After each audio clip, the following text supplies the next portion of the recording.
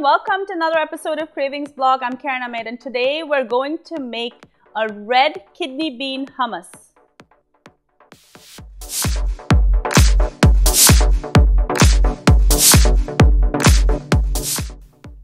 A hummus is a great party pleaser. It's so easy to prepare and you put out a large platter of it and everybody just loves to tuck into it. But today we're making a little healthier version of the regular chickpea hummus.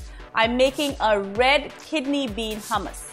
You need a couple of ingredients and you can eat it just like a regular hummus. What I've been doing lately is spreading it on wraps for my children's lunches and I find that I'm giving them a really protein packed lunch. So let's get started. I'm gonna get most of the liquids in here first, starting with the juice of a lemon.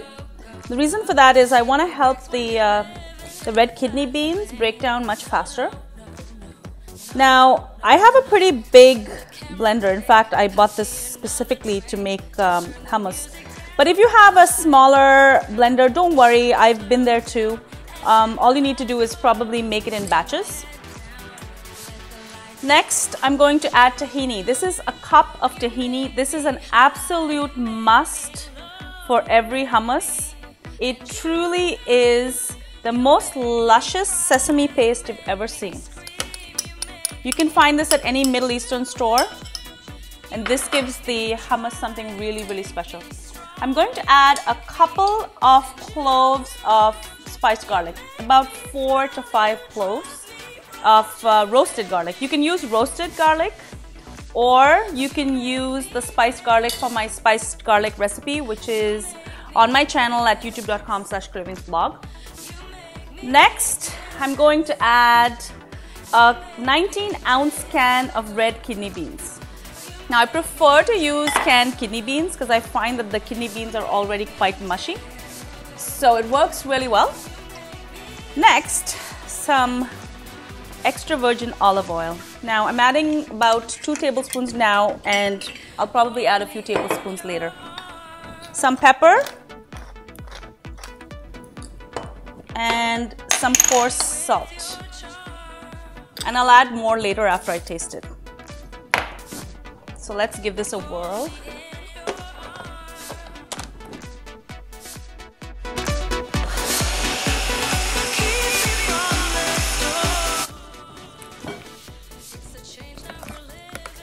It's a beautiful consistency. What I'm going to do now is add some fresh parsley. I've got about a cup here and I'm going to roughly chop it. Half is going to go into the blend and the other half I'm just going to uh, use almost as a garnish. Let's add that in. Oh, you can smell the freshness. Just fantastic. Let the.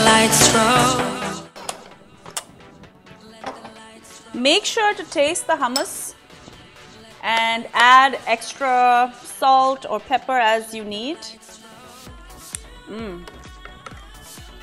Tastes just wonderful.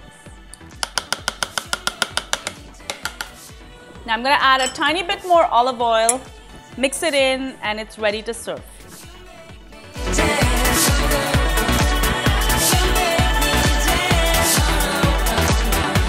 This really healthy and very creamy red kidney bean hummus is ready to eat. It's also ready to spread on my sandwiches for when I send the kids to school. Protein packed and delicious.